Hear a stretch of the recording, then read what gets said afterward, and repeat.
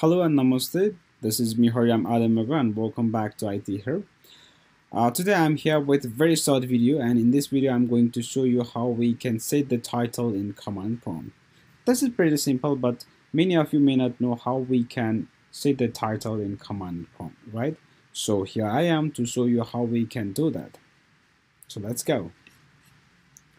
Uh, first you have to open up command prompt, uh, go to run and type cmd black screen will pop up. Look at here. Here you can see file path of command prompt. So we are going to replace this path with the title. So for that just you have to type title title title